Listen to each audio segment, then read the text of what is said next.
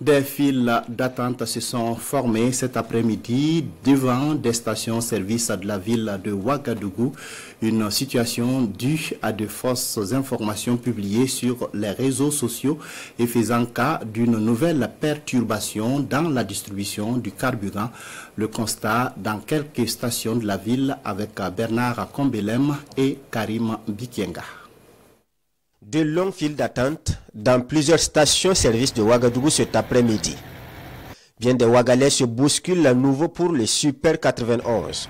Cette fois, la raison n'est pas une pénurie, mais des rumeurs sur les réseaux sociaux. Il paraît que l'essence va manquer. Et si j'ai traversé la ville, je vois qu'à chaque station, il y a une queue. Donc moi aussi, j'ai vu la queue qui est moins longue. Je me suis arrêtée ici pour prendre un peu. J'ai eu des informations qu'il y aurait une pénurie d'essence, donc je ne comprends pas. Donc pour cela, je suis venu prendre le rang pour me servir.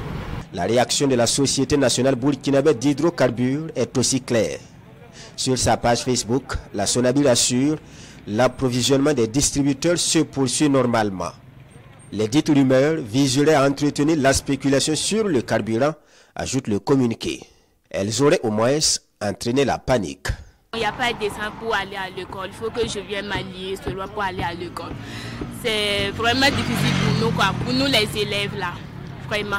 On a nos bureaux juste à côté, donc c'est quand on a vu les gens attrouper au, au niveau de la station qu'on s'est dit qu'il y a forcément quelque chose et que le problème qu'on pensait euh, passer est encore d'actualité.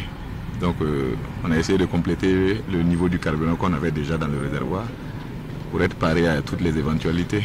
Pour éviter de telles situations, la nationale des hydrocarbures invite les consommateurs à s'en tenir aux informations officielles.